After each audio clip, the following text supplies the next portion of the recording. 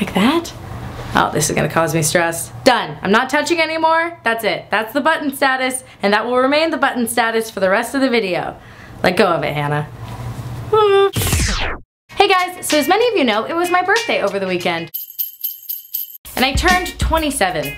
Last year I did a 26 questions for being 26 video and a lot of you guys liked that. And so this year on my Tumblr I got a lot of requests to do something uh, about turning 27. Please enjoy 27 things about being 27 and how they differentiate from being a different age at a different other time in your life. Yay!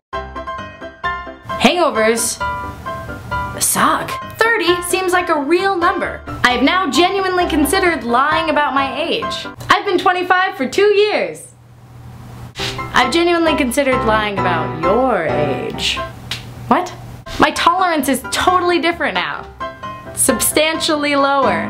My metabolism broke up with me. My health insurance broke up with me. My pre-existing notion of where I'd be at 27 broke up with me. It's way better! I go to farmer's markets. Sometimes I stay in on Friday night to recoup.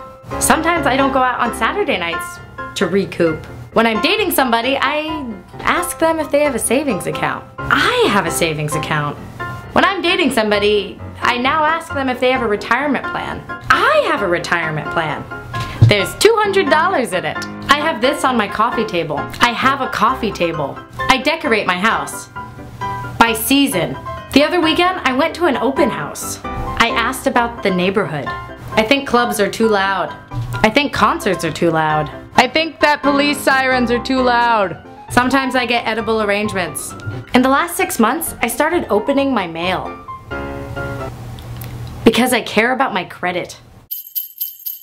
Well guys, that's it for me. Those are 27 things about being 27. If you are 27, cool. If you're younger than 27, If you're older than 27, cool. As you can tell, I really just, you know, whatever you are is cool by me.